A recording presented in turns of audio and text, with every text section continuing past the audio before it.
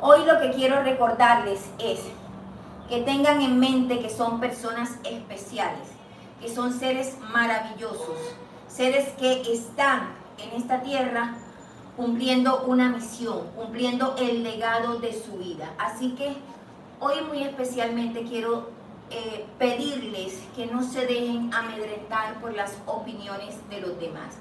Que hoy sea un buen día para creértelo, para decir, oye, yo soy grande, yo me merezco lo mejor, yo puedo, si me caigo me levanto, pero voy siempre adelante porque soy un ser maravilloso. Eso es lo que quiero que piensen hoy, en ese ser maravilloso que son, en ese ser que tiene el privilegio de estar vivo, el ser que tiene el privilegio de respirar, el ser que tiene el privilegio de seguir echando para.